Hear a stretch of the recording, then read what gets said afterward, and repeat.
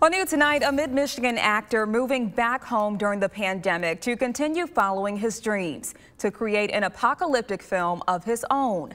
Now, as TV5's Trevor Sahaki reports, last spring after dams failed, causing historic flooding in his hometown, the filmmaker thought the new landscapes could be a perfect setting for his film.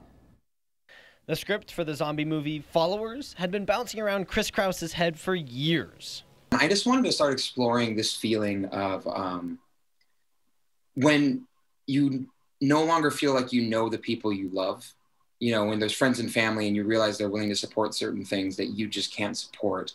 The Sanford native was an actor in New York. This career is already very unstable and, you know, it's tough. It, it, it is really hard. And then all of a sudden it is shut down in a way that you're like, when is this coming back? When is this going to happen?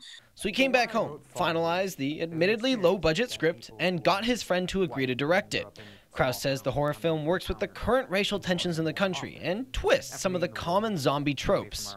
Um, and of course, you know, unfortunately, Sanford provides a, a, good backdrop for something that looks like it's a post-apocalyptic world. Um, so we're going to be filming out around there, and and you know, I kind of wanted to just jump on too and use it as an as a way to bring awareness to what happened to the town. Krause is currently casting the film and still working on funding, but after trying to push it through middlemen, he's proud to bet on himself. It's kind of every artist's dream, really. If you can if you can get to do your art, if you can tell some stories, and it also has a benefit of maybe actually helping people in real life beyond just telling a cool story that makes them think, then that'd be awesome. Trevor Sahaki, WNEM, TV5. Well, if you'd like to learn more about the film and make a donation to support them, you can find a link to their Facebook page in the weekend hot link section on WNEM.com. The GoFundMe page goes live on Wednesday.